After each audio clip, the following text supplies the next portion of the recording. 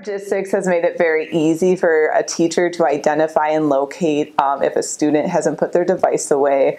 Um, it's very easy for the kids to locate where to put their device and keep it safe while they don't need to carry it around. Uh, and our librarian has their names all on the door. She has them taped to the door so I can just quickly check that. Oh, first yellow one, you're missing. Bryce, that's you. Let's go get your Chromebook.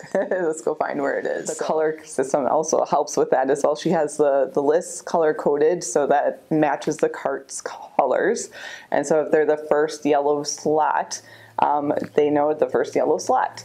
Um, and then it's very easy for me as well as a teacher. I'll know, oh, first yellow slot, oh, that student did not put their device away, and then I can go locate that in wherever that student is, wherever he has decided to place it other than the PowerGistics card.